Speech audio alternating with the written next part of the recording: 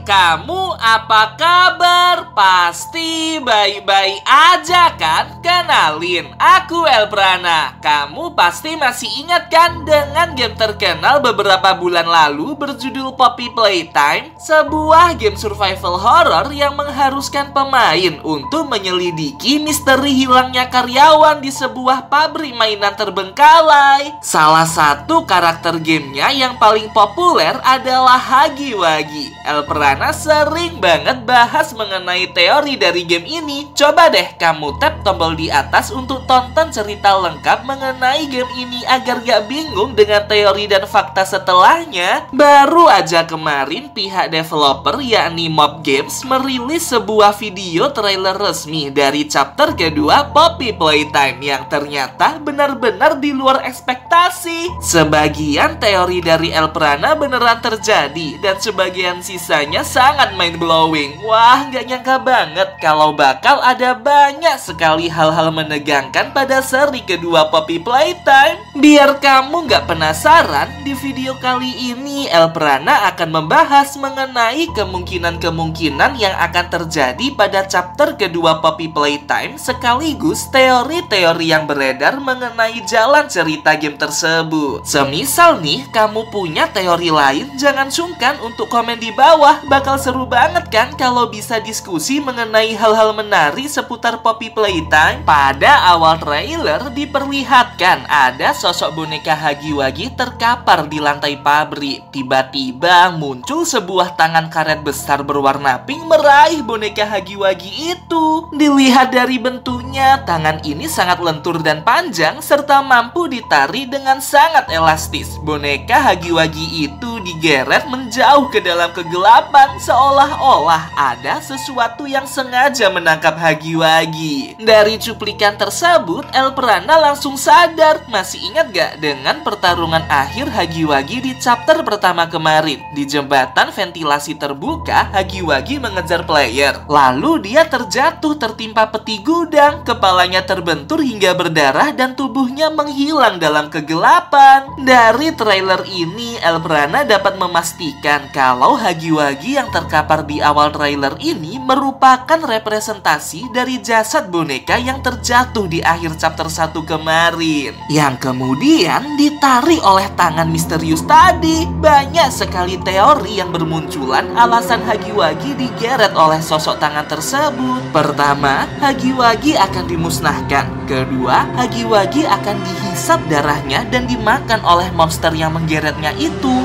Ketiga, Hagiwagi akan direparasi dan dibetulkan kembali agar dapat mengejar player pada chapter berikutnya. Wah, kira-kira teori mana nih yang benar menurut kamu? Komen ya di bawah. Setelah melihat trailer ini sampai habis, pada bagian akhir mulai muncul sesosok karakter perempuan dengan mata hijau besar dan mulut tersenyum menyeringai. Warna tubuhnya merah muda, tangan dan kakinya sangat lentur dan geraknya mirip banget seperti laba-laba. Dia adalah Mommy Longleg yang dikenal sebagai ibu dari seluruh mainan di pabrik Playtime-ku. Bisa dikatakan dia juga ibu dari Hagiwagi. Kukira nih karakter baru yang akan muncul itu kisi misi dong, tapi ternyata bukan. Yang muncul malah lebih menakutkan dan fenomenal. Dia adalah sosok karakter keibuan yang sangat haus darah dan kematian. Terbukti dengan diperlihatkannya beberapa sudut pabrik yang penuh dengan jaring laba-laba serta mainan rusak tergantung di atasnya. Elprana yakin banget ini pasti ulah dari Mommy Longlegs. Dia sengaja menjadikan manusia-manusia di pabrik menjadi mainan, lalu satu persatu dihabisi dan dimakan hidup-hidup di atas jaring. Gila, psikopat banget. Ada sebuah teori menarik mengenai hal ini. Kalau sebenarnya sosok yang mengubah manusia jadi mainan itu adalah Mommy Longlegs ini, termasuk Poppy yang juga adalah korban. Terus coba kamu perhatikan voice over dari trailer tersebut. Elprana yakin banget itu adalah suara dari boneka Poppy. Agar lebih jelas dengerin deh suaranya. Grave She's watching your every move. So you better be careful. Mommy doesn't like guests.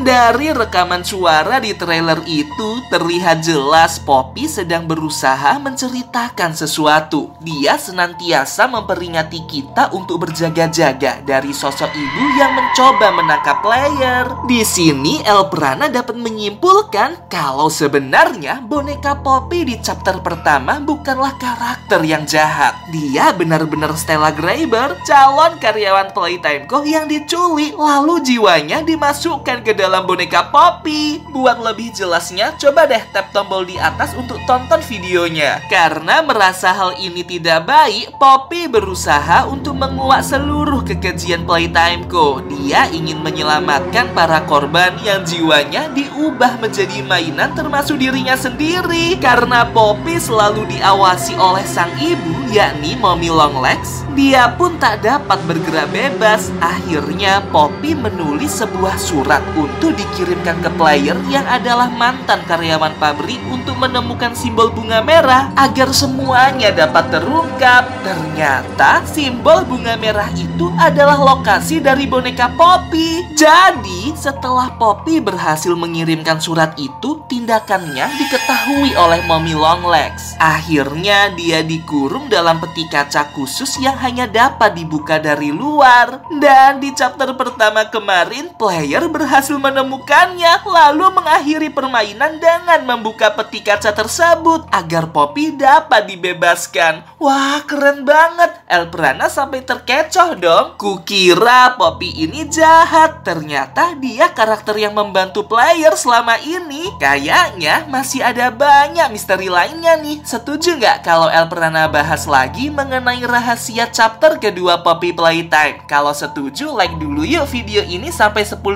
likes. Dan komen juga hal-hal apa lagi yang menarik yang perlu Elprana bahas dalam game ini nanti. Selain Mommy Longlegs, ternyata ada dua karakter baru yang mungkin muncul dalam chapter kedua nanti. Di tengah trailer ada sebuah ruangan besar berupa playground mirip dengan daycare ikonik FNAF Security Bridge. Secara sepintas di akhir cuplikan terdapat gerakan kecil dari sosok ulat raksasa berwarna ungu. Tuh, kelihatan kan? Itu adalah mainan Caterpillar yang sepertinya akan mengejar pemain. Selain itu, di sebuah ruang security penuh layar terdapat empat lightning sorot berbeda warna yang sepertinya menjadi sebuah puzzle seru untuk dipecahkan. Prediksi Elprana, player harus mengingat urutan warna dari lightning sorot tersebut dan mencocokkannya sama persis. Namun ada tantangannya, layar-layar di baliknya akan berkedap-kedip dan berganti warna mengganggu konsentrasimu. Jika gagal memecahkan puzzle ini, maka mainan bunga matahari raksasa yang ada di atas akan terjun dan menerkamu. Bisa jadi itu adalah karakter baru yang akan muncul di chapter kedua nanti dibuktikan dengan cuplikan mainan bunga matahari yang terlihat dekat gudang penyimpanan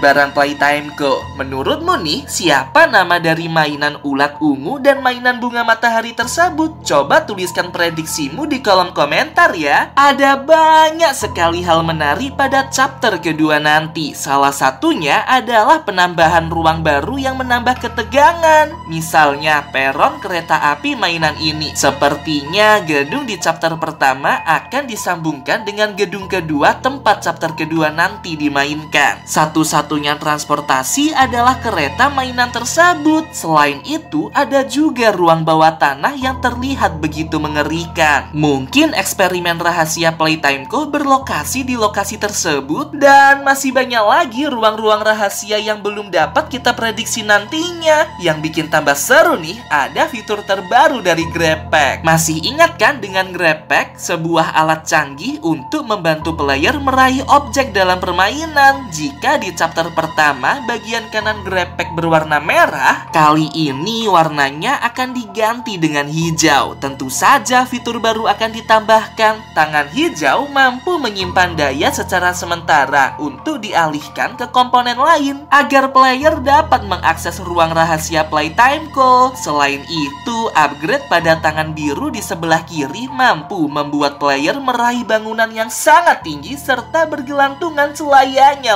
laba-laba. Ini bisa banget difungsikan untuk menghindari serangan musuh. Duh, jadi nggak sabar deh untuk segera memainkan chapter kedua nanti. Ya, inilah misteri dari trailer Poppy Playtime chapter kedua. Gimana nih menurut kamu? Dari teori-teori tadi, mana nih yang menurutmu bakal terjadi? Apakah kamu punya teori lain mengenai hal ini? Coba kamu komen di bawah ya, aku ingin tahu analisis kamu. Oh iya, kalau kamu ingin merekomendasikan topik untuk dibahas di video berikutnya, jangan sungkan buat kirim ke email ax.elprana@gmail.com. Aku tunggu ya rekomendasi dari kamu. Sampai jumpa.